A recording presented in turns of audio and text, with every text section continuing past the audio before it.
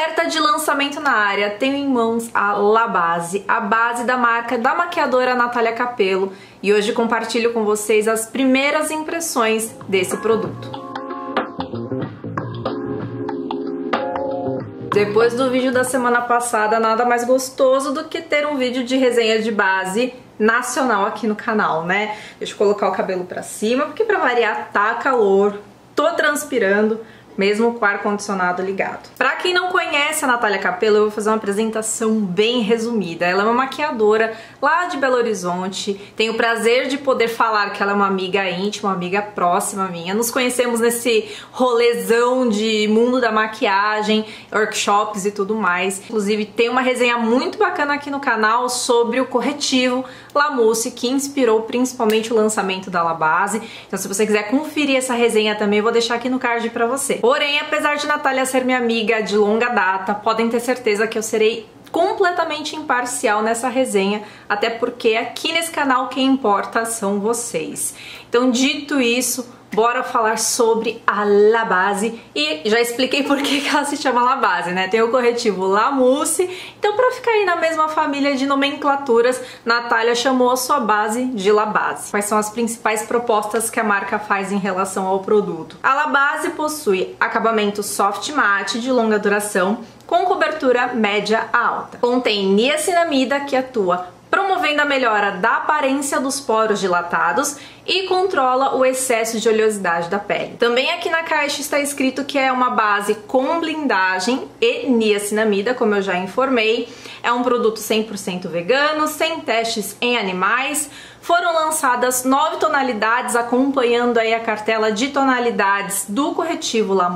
Eu confesso que eu fiquei um pouco na dúvida do tom para mim, porque eu utilizava o corretivo creme brulee mas na base, ali nas imagens que eu vi que foram liberadas de swatches e tudo mais, eu achei que a, o tom da base creme brulee talvez fosse ficar escuro pra mim. Então eu optei pela tonalidade peach, que era uma tonalidade de corretivo dela, do La Mousse, que eu também utilizava. Eu tava sempre ali entre o creme brulee e o peach, então achei que o peach ia funcionar melhor pra mim nesse momento. Volumetria de 35ml nessa embalagem que é de plástico, não é de vidro, o que para o maquiador é algo muito importante, porque a gente que maquia fora, quem maquia fora, eu não maquio mais, eu sei, não sei porque que eu falo a gente, mas enfim, para quem atende fora e tudo mais, uma embalagem de plástico acaba sendo mais leve e melhor para evitar qualquer tipo de quebra, né? Agora vem a parte que talvez você torça o nariz, que é o preço da base. No site da Natália Capello, ela está sendo comercializada por R$ 157,90. Eu não comprei no site dela, eu comprei uma loja próxima da minha região, que é a Supergloss. No site da Supergloss eu paguei R$ 149,90 e tive frete grátis, então não tive nenhum custo a mais na aquisição da base. Agora você já deve estar pensando, se perguntando, mas meu Deus do céu, essa base vale R$ 157,90, R$ 149,90? É isso que você vai conferir comigo hoje. Antes de começar o vídeo, eu já hidratei a minha pele. Vocês sabem que eu gosto sempre de aplicar o hidratante minutos antes de fazer a aplicação da base, justamente para não ter tanta interação de hidratante e base, deixar o hidratante ser absorvido, enfim. O hidratante que eu utilizei foi esse daqui, que eu já mostrei para vocês, já compartilhei sobre ele com vocês aqui no canal e também lá no Instagram. Esse é o hidratante mate 3 em 1 da Neutrogena. Eu gostei muito desse hidratante, ele é um hidratante que funciona muito bem com bases que vem com esse tipo de proposta de resistência à água, com silicones na formulação. Eu sei que nesse momento vocês devem estar malucas para eu começar a aplicação da base no rosto, provavelmente algumas já até pularam o vídeo, mas para quem se interessa nessa parte de formulação, eu dei uma estudada assim na formulação da, da base da Nat, né, da La Base, e até mais ou menos o décimo, talvez até o décimo primeiro ingrediente aqui da formulação da Natália tem muitos silicones ou produtos que são formadores de filmes, então pela formulação eu já sei que é uma base que provavelmente realmente vai ser, provavelmente realmente vai ser muito resistente uh, no geral, em todo o contexto, não somente resistente à água. A niacinamida aparece em 12 lugar na lista de formulação, então não é aquela base que coloca a vitamina ou o ácido ou aquele ativo hidratante lá por último na formulação só para falar que tem.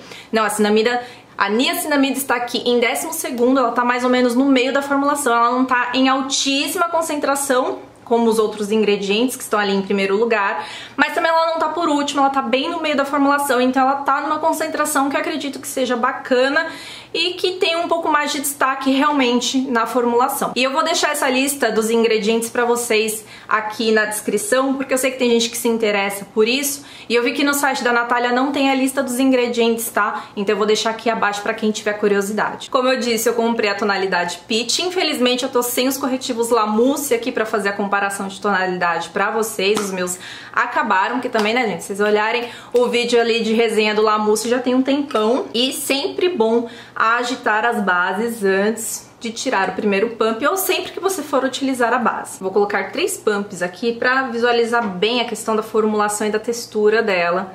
Ela é uma base bem fina. Uh, tá vendo? Olha essa que delícia, ela escorre. Eu amo base assim. A tonalidade Peach, pelo que eu pude observar ali de swats e imagens, é uma das únicas ali que tem um subtom um pouquinho mais pro rosado mesmo. Por isso, justamente, que eu optei por essa tonalidade. Eu não gosto de bases que ficam muito amareladas na minha pele, apesar de não achar ali, pelo menos nas imagens que eu vi, que as bases da Nath sejam muito amareladas. Mas dessa vez eu quis optar realmente por uma base com subtom um pouco mais frio, um pouco mais rosado, até pra ver como é que esse subtom vai funcionar, se ele vai alaranjar depois que secar, que assentar, enfim. Zero dificuldade realmente pra espalhar. Gostei da tonalidade e o subtom acho que ficou bom também. Inicialmente eu vou fazer essa camada mais fina, para mostrar para vocês como é que a textura dela fica na pele, principalmente para quem gosta de coberturas mais finas, gosta de algo mais translúcido. Ela é uma base que realmente fica muito fina, muito bonita, não texturiza a pele. Quanto menos quantidade você colocar, mais translúcida ela vai ficar. E algo muito interessante a ser mencionado aqui para vocês é que, mesmo com o ar-condicionado ligado, eu tô transpirando, eu tô fazendo a aplicação da base.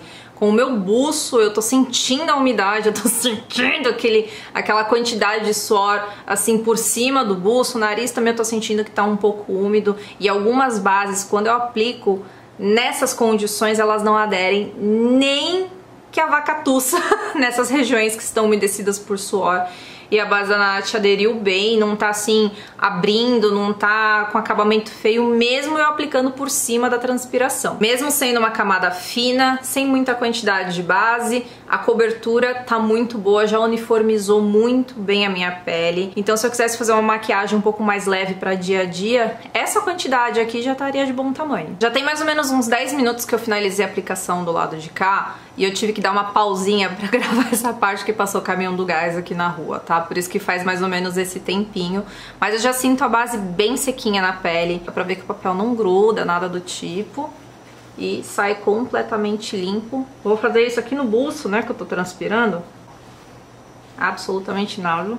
Consigo secar a oleosidade, a transpiração, na verdade, né? Sem remover a base. Acho que um pouquinho aqui, mas na dobra, ó mas ainda assim não removeu a base. Eu acho até que essa base é uma base que pro dia a dia eu não selaria em dias mais a menos, assim, mais quentes, claro que provavelmente eu vou ter que selar, mas em dias mais a menos, ali primavera ou até no inverno, é uma base que eu acho que eu não selaria não, porque ela fica sequinha no ponto que eu preciso. Finalizei a segunda camada com a esponja em ambos os lados. E esperei um pouquinho pra voltar aqui pra mostrar pra vocês, porque eu esperei já ela dar uma secadinha. Ela tá quase 100% seca na pele, já consigo até encostar desse jeitinho aqui pra vocês. E tem um ingrediente, inclusive, nessa formulação que ajuda a dar um efeitinho blur na pele e realmente eu vejo isso principalmente nessa região central. Não é uma base que evidencia os poros ou texturas, eu tô até com uma marquinha aqui do lado na, na aba do nariz e não tá sendo evidenciado. A base tá quase seca e não tá craquelando, acumulando, marcando demais as linhas que eu tenho aqui na testa, né, que são as linhas que mais gritam em mim. Abaixo dos olhos também ela tá bem fina, não tá craquelando, não tá acumulando. Coloquei uma gola V assim um pouco mais alongada de propósito para que vocês pudessem analisar a tonalidade a subtonalidade, principalmente para quem me utiliza como referência para tonalidades para fazer suas compras, né, para vocês verem bem como é que tá a tonalidade peach e o subtom dela também na minha pele. Como eu tô um pouquinho mais bronzeada e, e isso é uma coisa que eu não sei explicar, mas quando eu bronzeio, eu bronzeio para um leve dourado, apesar de eu não ter um subtom mega amarelado bases amareladas ficam muito amarelas em mim, ficam até estranhas. Vocês já viram em outras resenhas aí que algumas bases amareladas elas gritam em mim, né? Porque não dá um match muito legal.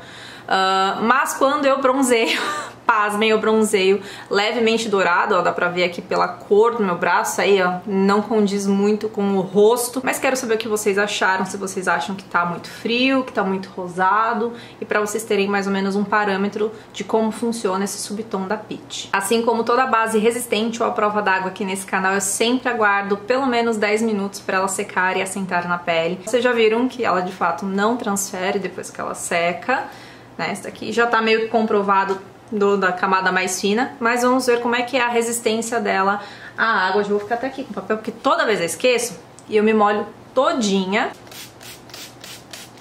Bastante água. Bastante, né? Já tá escorrendo aqui, sem cortes.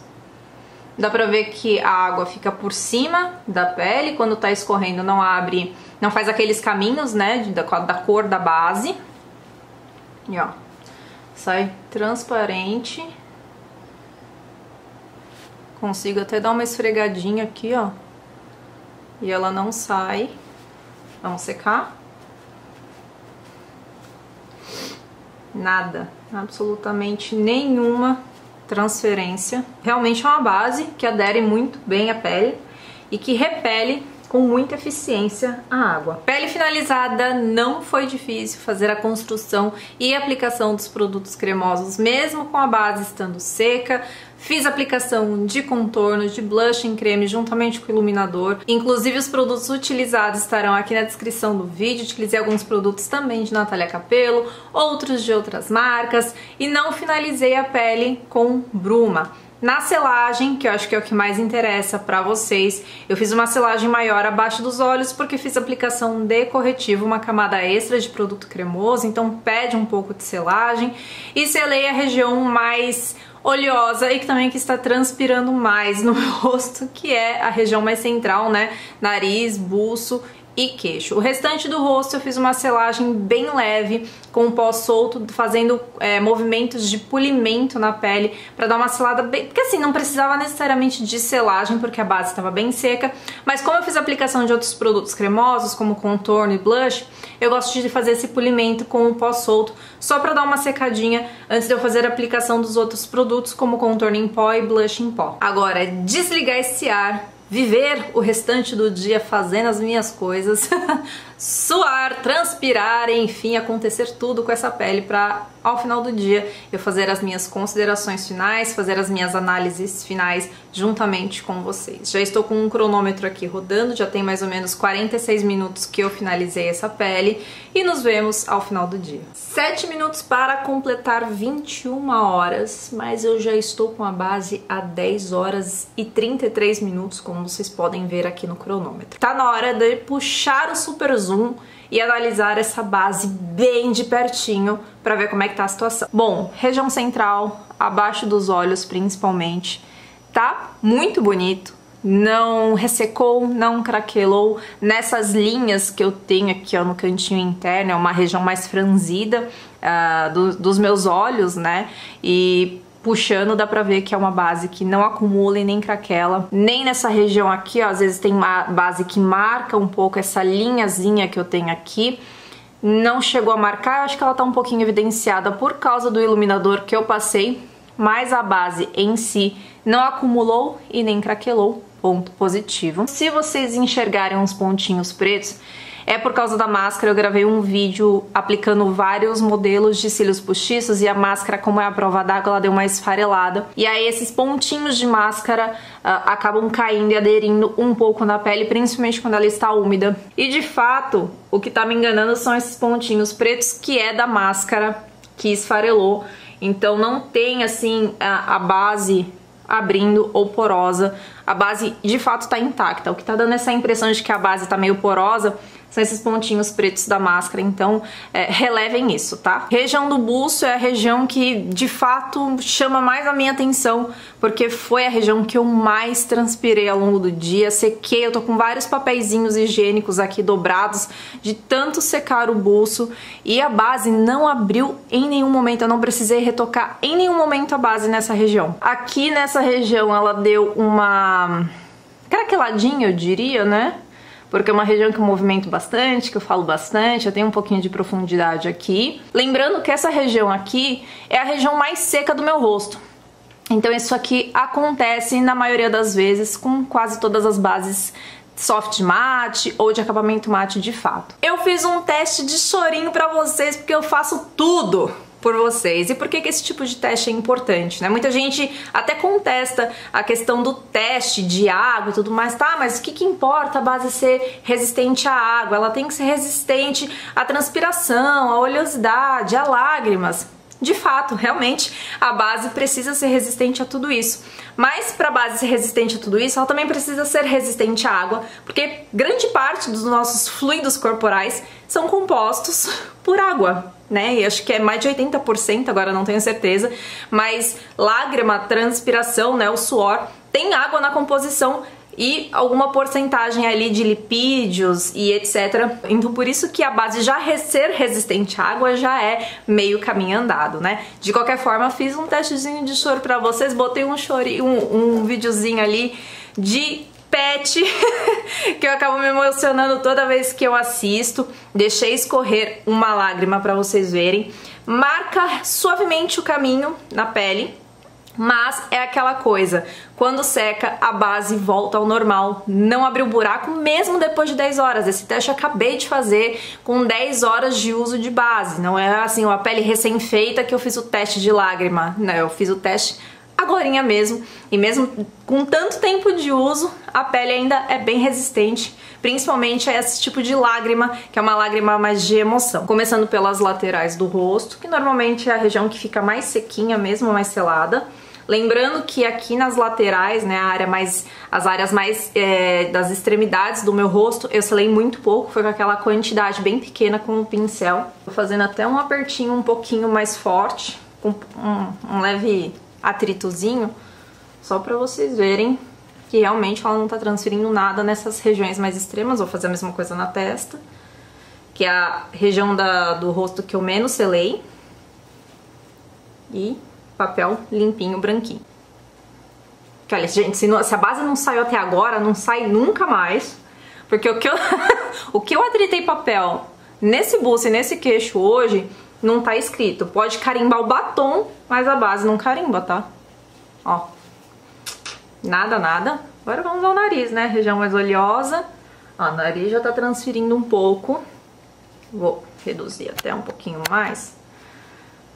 Essa é a transferência aqui na aba do nariz. E mesmo encostando bem o papel pra fazer essa transferência aqui pra vocês, a base não saiu.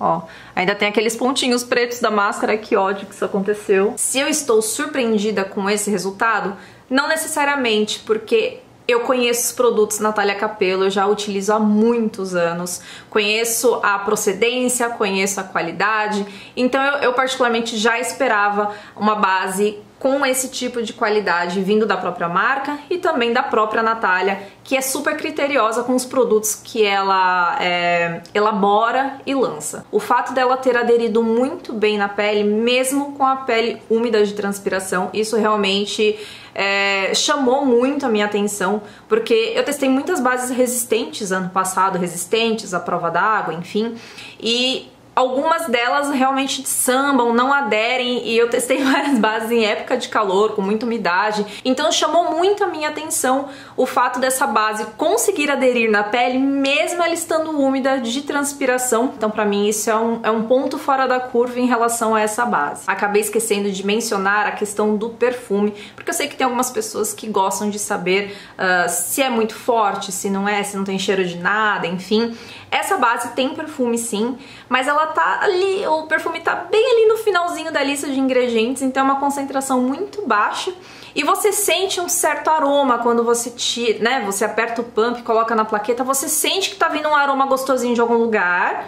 Mas se você pega e cheira a base, que foi o que eu fiz, você não sente necessariamente um perfume muito forte vindo da base, mas você sente esse aroma que não fica na pele, que não é enjoativo. Gostaria que tivesse mais tonalidades? Com certeza, e eu torço muito para que a Natália e outras marcas de maquiadoras e de maquiadores consigam investimento suficiente para poder fazer lançamentos mais robustos, uma cartela muito maior, que agregue mais pessoas dentro da tonalidade ali, dentro da, da tabela que a Natália lançou, eu achei que tem até uma certa, um certo equilíbrio ali na quantidade de tonalidades que foram é, oferecidos para peles claras, médias e escuras. Mas é algo que eu eu analisei ali com as fotos que a marca uh, disponibilizou nas redes sociais, não tenho todas as tonalidades aqui para fazer swats e tal, analisar assim com os meus próprios olhos. Então eu quero saber de vocês também o que, que vocês acharam da tabela de tonalidades, lembrando que ela seguiu uma tabela de tonalidades muito próxima do corretivo Lamousse. A única coisa que eu pondero em relação a essa base é sobre a sua faixa de preço e como ela se posiciona no mercado. Tem marcas que se posicionam para serem baratinhas, outras marcas se posicionam ali no intermediário, outras marcas se posicionam para serem premium no mercado nacional e cada um com a sua estratégia de marketing, com a sua estratégia de público e tá tudo certo. A única coisa assim que eu pondero e fico refletindo em relação a isso é que principalmente no ano passado nós tivemos muitas bases lançadas no mercado nacional, inclusive várias eu testei aqui no canal, né? E várias bases com uma proposta muito parecida com essa base da Natália Labase, né? Tirando o fato de que essa base tem maior concentração de niacinamida e blindagem, né? Tem vários formadores de filme e silicones ali na formulação, fazendo com que você talvez tire a blindagem do processo de construção de pele. É uma base que te, não, não oferece menos do que essas bases que eu já testei, mas ela também não oferece nada a mais. Não tenho, assim, tirando a questão da, da transpiração e tudo mais que eu já citei pra vocês, não é uma base que foge muito daquilo que eu acho que eu mostrei pra vocês no ano passado. São bases que estão ali meio que na mesma estante, né, na mesma, no mesmo patamar é, em quesito de propostas. E aí dentro dessas que eu citei para vocês, vemos tabelas de preços bem diferentes. Então fica a reflexão do que que faria, o que, que te faria, o que, que me faria optar por essa base na hora, né? Se eu tivesse em uma loja de cosméticos, todas essas bases estivessem ali na prateleira, o que, que me faria optar pela La Base e não por essas outras bases que têm performances muito boas, muito parecidas, mas com uma faixa de preço um pouco menor. Seria porque você se identifica mais pela marca ou pela dona da marca, pela admiração, pela estética, né, pelo visual da base, pela proposta de fato, por ter um posicionamento mais premium. Enfim, o que, que te levaria a optar pela La Base e não pelas outras bases que temos aí no mercado. Eu acho que hoje em dia vai ser um desafio maior tanto para maquiadoras e maquiadores quanto para influenciadores lançarem mar, é, bases no mercado, porque nós já estamos tendo aí uma, uma qualidade, né, um nível de qualidade muito alto. E como ser algo tão diferente em, em um mercado que já está com uma concorrência muito grande, com muita coisa boa sendo lançada, enfim, são várias coisas que dá pra gente bater um papo, ponderar. Dito tudo isso, Nath, parabéns por mais um lançamento incrível, de qualidade. Como eu disse, eu não esperava nada diferente de você, porque eu conheço quão você é esforçado, quanto você é responsável em fazer bons produtos, fazer bons lançamentos e sempre trazer produtos bons para o mercado. Você não lança nada por acaso, não lança nada à toa só por lançar. Você levou anos para lançar essa base.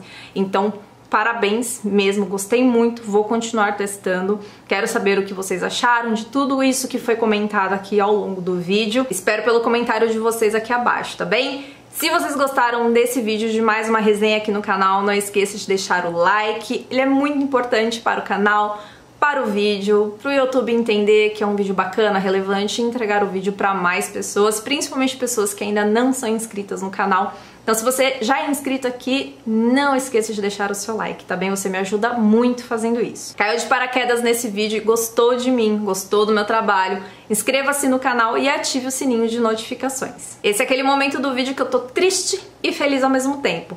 Triste porque eu tenho que me despedir de vocês, mais feliz porque eu vou finalmente descansar. um beijo pra vocês e até a próxima.